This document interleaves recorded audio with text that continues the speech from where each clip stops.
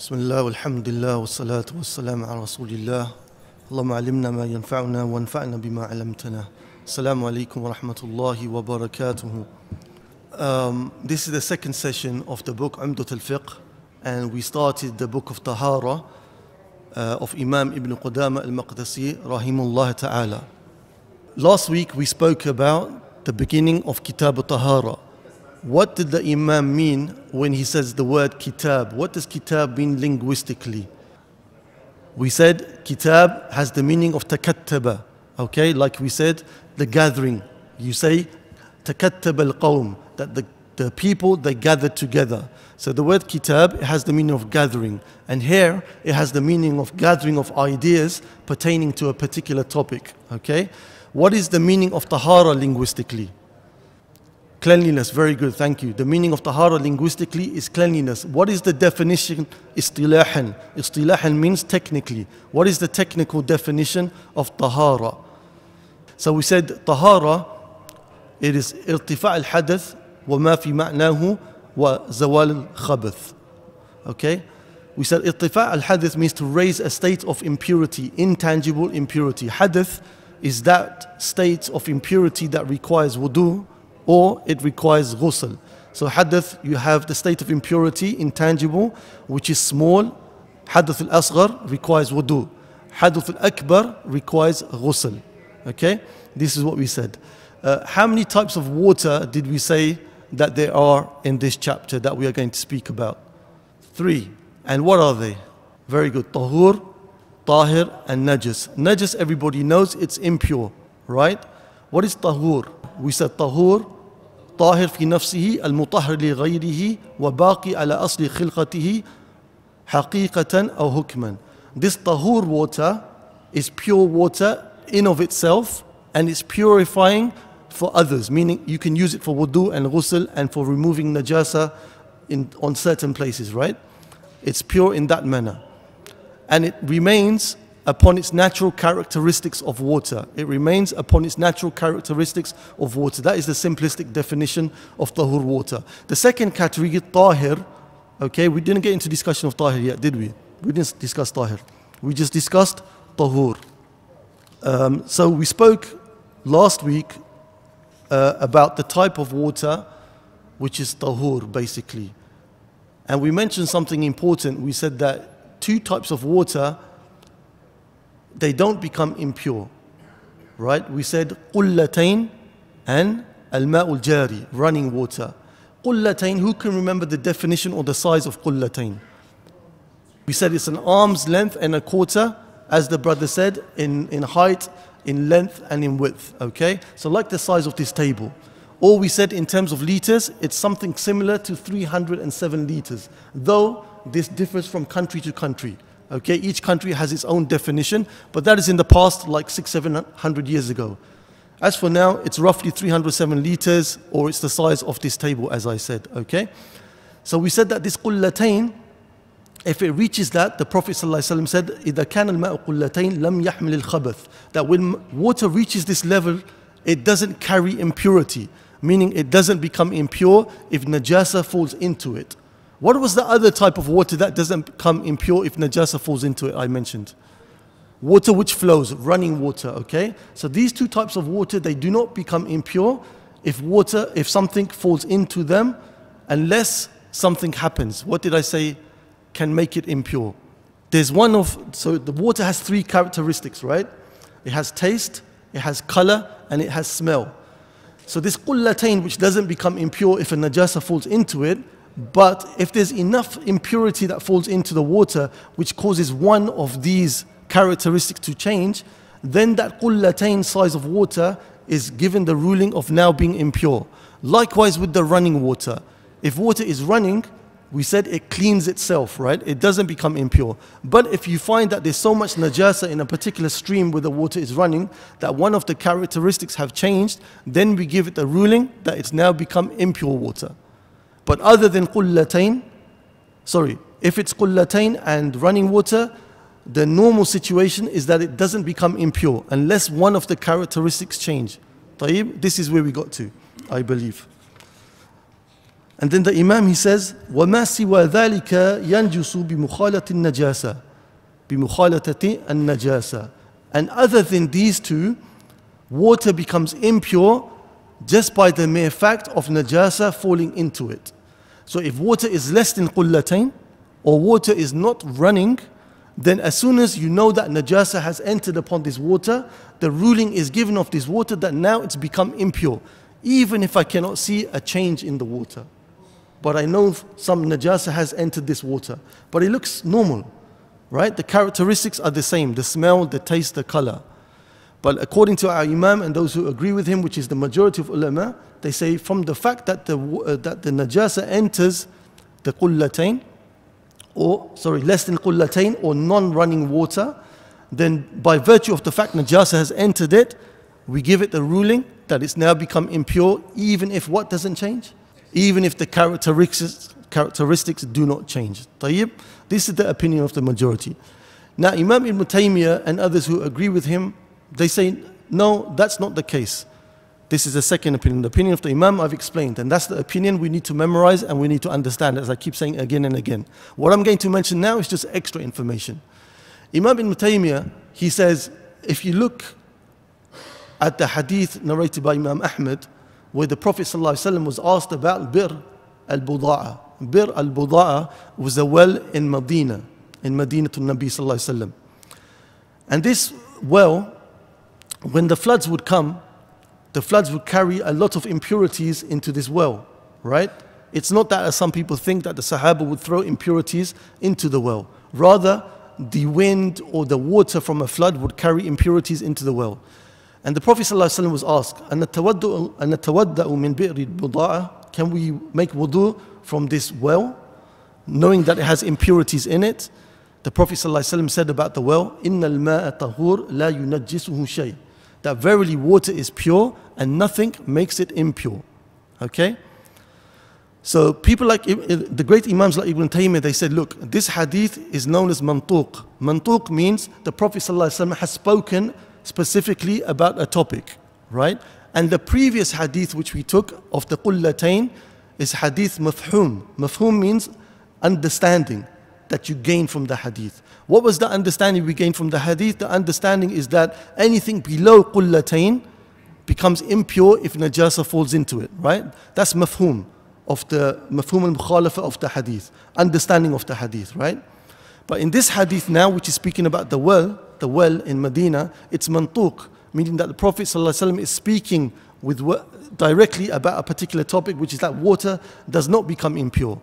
So Imam Ibn Taymiyyah and others, they say, إذا تعارض بين المنطوق والمفهوم قدم المنطوق. If there is a contradiction, apparent contradiction between the mafhum, the understanding gained from a particular hadith, and the mantuq, the spoken of a particular topic in a hadith, قدم المنطوق then the mantuq takes precedence then the spoken words of the Prophet ﷺ on a particular topic take precedence over the mafhum okay so here Ibn Taymiyyah is saying that even if water is not running water or it's less than qullatain then it doesn't become impure just because najasa falls into it according to Imam Ibn Taymiyyah and others it becomes impure only when one of the three characteristics of the water change due to impurity you see the difference in the two opinions. The opinion of our Imam is that anything which is less than qullatain or anything which is not running water becomes automatically impure if you know najasa fell into it, whether or not the characteristics have changed. But others like Imam Ibn Taymiyyah, they said no. The water doesn't become impure only if the characteristics of the water change, whether it's less than qullatain or whether it's not running water in any case, it's only if the characteristics of the water change, inshallah. So this is just extra information for the sake of exercising our minds. You can go back to the video, inshallah, watch it once or twice, and I'm sure you will get it, inshallah. The Imam he says والقلتان ما قارب مئة وثمانية أرطال بدمشق. So the Imam he's giving an old definition of what qullatain is. Okay, we gave the easier definition, so we'll move on from this part of the sentence. The Imam now he's going to go ahead and he's going to speak about what is tahir water. So we spoke, we know what najis water is, impure water, and we've learnt now what tahur water is, the water that you use for purifying yourself, making wudu and ghusl. Now the Imam, he's going to talk about the third category of water, which is tahir. Tahir water is tahir fi nafsihi, غير مطهر لغيره. Okay, it's pure in of itself, it's pure water, but you cannot use it for purifying. Okay, you cannot use it for purifying yourself, for making wudu or making ghusl or washing najasa of the carpets and elsewhere, according to our Imam and those who agree with him. So, this tahir water, why it's important to know this category is because this tahir water, if it falls on your clothing, what's the ruling of your clothing? It's fine, excellent. So you can continue praying in it. So that's why it's important to know the, the ruling of this water. It's not tahur, but it's not najis. Okay, it's in the middle, it's tahir. Okay, it's pure in of itself, but you cannot use it for purifying. So the Imam he gives now three examples of this tahir water. He says, وَإِن طُبِقَ فِي الْمَاءِ مَا لَيْسَ بِالطَّهُورِ أَوْ خَالَتَهُ فَغَلَبَ عَلى اسمه أو استعمل في رفع حدث صلب طهريته طهوريته. The Imam he says that if water, the tahur water, has something pure cooked in it, like for example meat or onions, okay? And this meat and onions mixes with the water, okay? And it overtakes the properties of the water. So what is overtaking the properties of the water? Not something najis. Something which is pure, like meat, it's not najis, right? Something like onions, not najis. But when you mix it with the water, what does it become? It becomes something else. You don't call it water anymore. Now you call it soup. Maybe not tasty soup with onions, but it's still soup, right? It's become soup. So it's not considered now water. So that's why it's given the definition of tahir water. If that was to fall upon you, it would be considered tahir. It wouldn't make you najis, but it's not used for purifying. With me so far? And then the Imam he says, "Oh, stop mila fi rafi hadathin." Or this water is used in removing the hadath. What's hadath? Somebody tell me again. Janaba, for example, or the other one which is less than janaba wudu, for example, wudu. So you have janaba, which is uh, requires ghusl, and then you have wudu. Okay, the things which require wudu. So hadath is that. So if the water has been used for removing the hadath, then this water becomes tahir. It moves from tahur to tahir. But note here, we're talking about uh, ghusl or wudu, which is the obligatory ghusl or the obligatory wudu. Not tajdeed al wudu, for example. You already have wudu, you haven't broken the wudu, but you know that it's from the sunnah and it's recommended that for every salah you make a new wudu, if you, even if your wudu hasn't broken. So in this case, the water will remain tahur. But if you use the water to actually remove the state of hadath, which is when you actually require to make wudu or ghusl, that's when it becomes tahir. And the evidence for that is in the hadith with the Prophet ﷺ in Sahih Muslim, لا يغتسل أحدكم في الماء الدائم وهو جنب that one of you should not make ghusl in water which is not running while he is in the state of janaba. Okay? So the ulama they say that the wajh dalala, wajh dalala means how we extrapolate, how we take the evidence from the hadith. They said if it wasn't the case for the Prophet ﷺ gave the nahi of making ghusl in the water, then it would remain tahur. Okay, so what makes it tahir is the fact that it was used for removing hadath. So removing hadath, as our Imam said, is one of the cases where the water becomes tahir. Okay? So to simplify it, if something is mixed with the water and it overcomes its properties, something pure, not talking about impure, and it overcomes its properties, like now it becomes soup or it becomes tea, or you put orange juice into water and mix it, it becomes diluted orange juice. This now is considered tahir water, okay? Or if this water is used uh, musta'mal water for raf al hadath, for the removing of the hadath, then this also becomes tahir water. It's not tahur anymore. And a point to note here, when the ulama, they talk about musta'mal, ma'ul musta'mal uh, fi raf al hadath, used water in removing the hadath. What are they referring to? It's the water which comes off your body. That's what they mean by ma'al musta'mal. It's not that which remains in the bucket, okay, or in the basin. That water you can use again, or somebody else can use for making uh, wudu. Tayyib. So this is what our Imam and those who agree with him say on this issue on Tahir. Imam Ibn Taymiyyah and others, they say that in fact the reality is there's only two types of water. There's only najis and tahur. He says, Imam Ibn Taymiyyah, there's no tahir water. Why does he say that? If you go back to the verse in Surah An-Nisa, which we mentioned earlier on, where Allah says, فَلَمْ تَجِدُوا مَاءً فَتَيَمَّمُوا صَعِيدًا طَيِّبًا If you do not find water, then make tayammum. Okay? Imam Ibn Taymiyyah, he says, if you look at this verse, ma, فَلَمْ تَجِدُوا مَاءً Ma, this noun meaning water, it comes nakira. Nakira means it's not, yes, what's the uh, English word? It's uh, unspecified. Unspecified. It doesn't have the alif lam ta'rif. Okay? It, it's not a definite noun, it's an indefinite noun.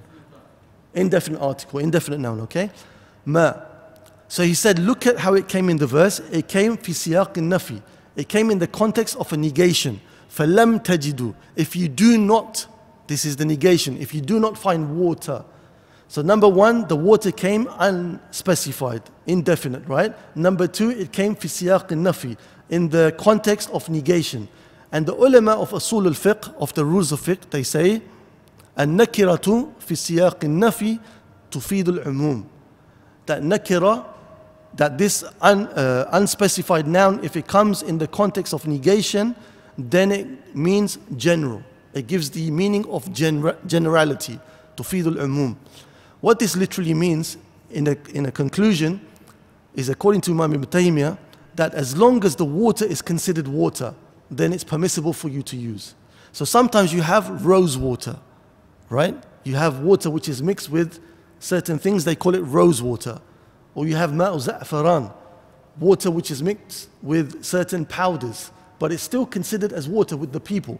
As long as it's considered water, even though its properties seem that they have changed, then that water is permissible for you to use, according to the explanation that I gave. Okay? So all of this is extra information. If you don't get it, it's not a problem. The things to remember and to revise from the video, like I said, is what the Imam said. Okay, this is how we study fiqh. But I'm giving you extra information, just hopefully to keep you interested and so you can have an exercise, exercise of the mind. The Imam, he says, وَإِذَا شَكَّ فِي طَحَارَةِ الْمَاءِ أو غيره if the person becomes doubtful about the state of the water is it pure or not or other than water meaning clothes or a place where you're going to pray is it pure or not okay what does he have to do أو نجاسته بنى على اليقين if a person becomes doubtful about water is it pure or is it impure Is this carpet pure or is it impure? Is my thobe pure or impure? What does he do? Bana al yaqeen. He, he acts upon certainty. Okay? So, this is a container of water. Okay? A dog has passed this container of water. I saw it from a distance. The dog was around the water. So now I'm scratching my head. I'm thinking, did the dog lick from this water? Did he urinate in the water? But there's no proof that he did that because I can't see any change in the water. What should I do according to the Imam? Imam? Continue upon certainty, which was that I knew the state of the water before I saw the dog. I knew that the water was pure before I saw the dog. So there's no proof to show that it's become impure, so I act upon certainty. My thobe now was lying on the floor.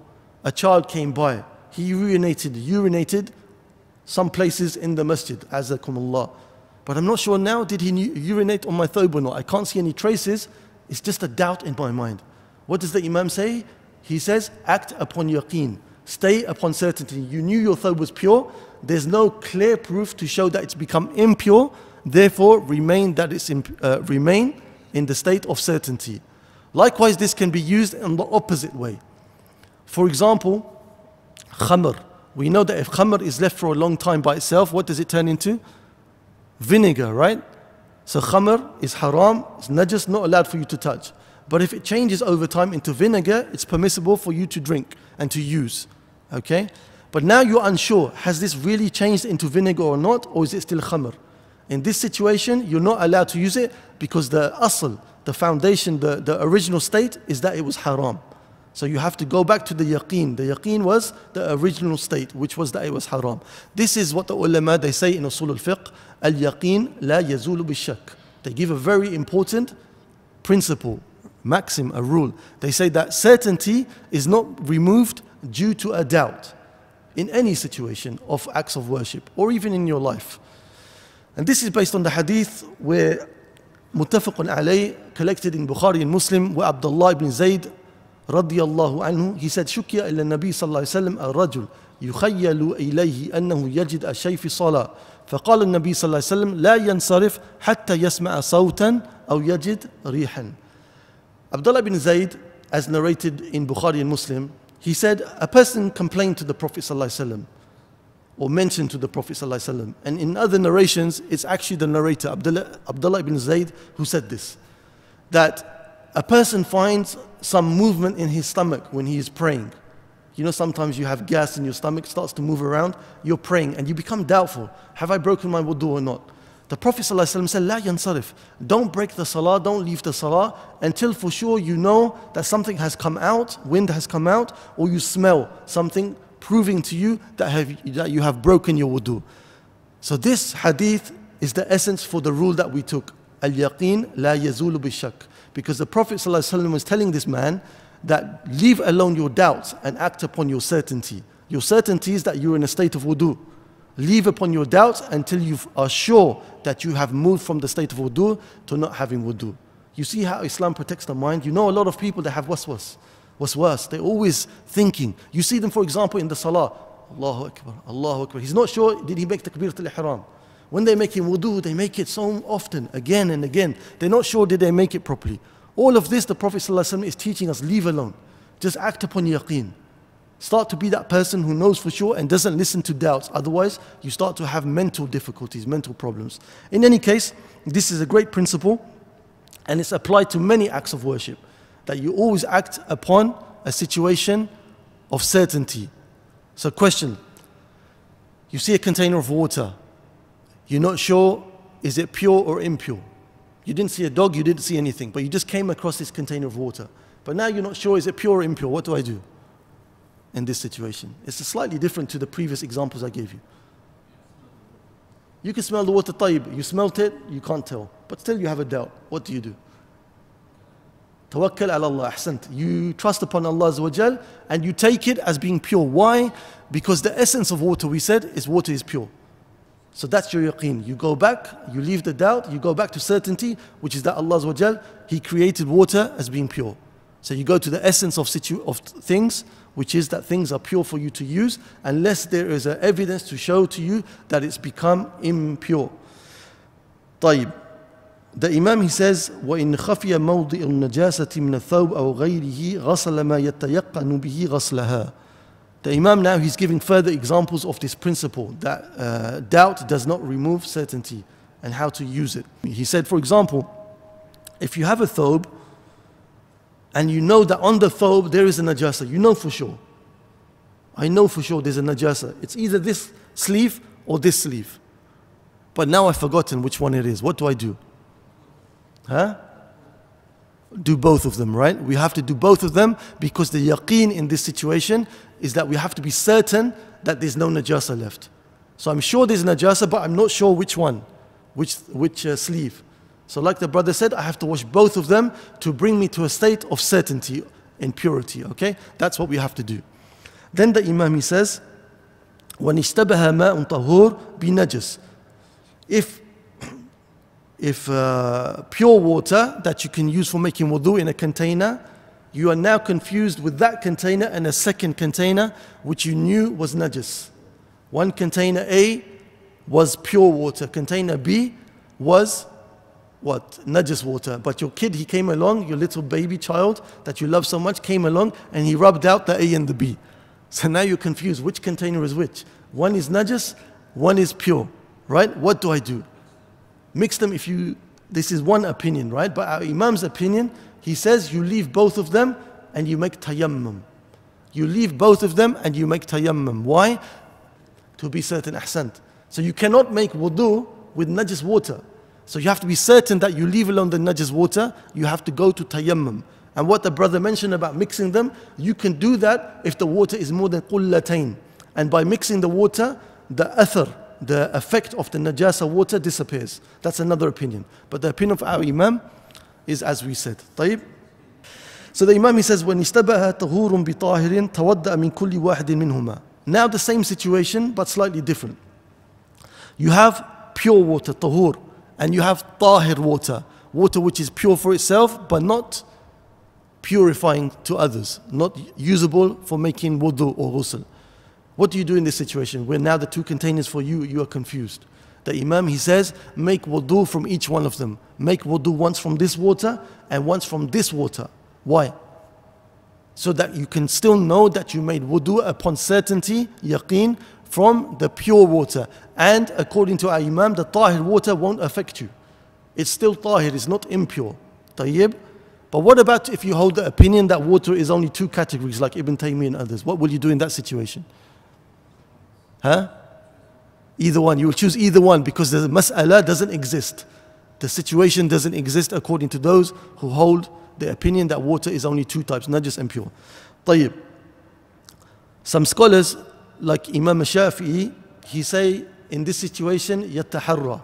يتحرى means you exert your effort to come to a conclusion if there is something which can help you get to that conclusion. So if there's some kind of qarina, there's some kind of way of you determining that actually this water is the najas water by smelling it, for example, or looking closely to it to see if something has changed. He says you can exert your effort, and even if later on you came tomorrow to know that it was najas water, there's nothing upon you. Why? Because in the hadith, the Prophet ﷺ said, in the hadith collected by Imam Bukhari and Muslim, narrated by Abdullah ibn Masud radiallahu anhu, the Prophet ﷺ said, إِذَا شَكَّ أَحَدُكُمْ فِي صَلَاتِهِ فليتحرى الصواب فليتم عليه ثم ليسجد سجدتين The Prophet ﷺ said, if one of you becomes doubtful in his prayer, he's now forgotten, did I pray three, did I pray four? So what he should do, يتحرى. He should exert his effort to try to remember his best where I am. Am I in the third rakah or the fourth rakah? And then he should complete his prayer according to the conclusion that he came to. Okay, and then afterwards he makes two prostration for forgetfulness. So the wajh dalala, meaning the evidence from the hadith, is here that if you are allowed to exert in the prayer your mind to reach a conclusion, then you min bab al awla, meaning more so, bab al awla more so, you're allowed to do that in the shart. The shart is the thing that uh, pertaining to tahara. So if you're allowed to do that in the prayer, then for the tahara, even more so you're allowed to do that. You're allowed to exert your effort. So the water is pertaining to tahara. So in any issue that we mentioned about water being confused or the person being confused in his clothing, okay, then he can make taharra, taharri, yataharra. He can make, exert his effort to try to come to a conclusion, right? The Imam, one more sentence, which he says, he says, وَنِشْتَبَهَتْ ثِيَابٌ طَاهِرٌ أو طاهرة بنجسة صلى في كل ثوب صلاة بعدد النجس وزاد صلاة. He says in this mas'ala, he says, if your thobes, you have a group of thobes, or even two thobes, let's say, one of them you know is impure due to an impurity falling upon it, and one of them is pure, but you're not sure now which one is which, you've become confused. What do you do? Our Imam, he says, in this situation, what you do is you pray in each salah, in each thobe, sorry, in each thobe you pray one salah, and then you do what? Then you increase once one prayer. So you will know for sure that you have prayed in the pure thobe out of probability because you didn't know which one was impure, right? So the probability you pray in this thobe and you pray in this thobe and you increase in one salah.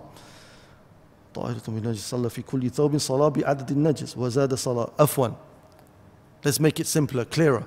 Let's say you have three thobes, right? And you know that one of the thobes was najis.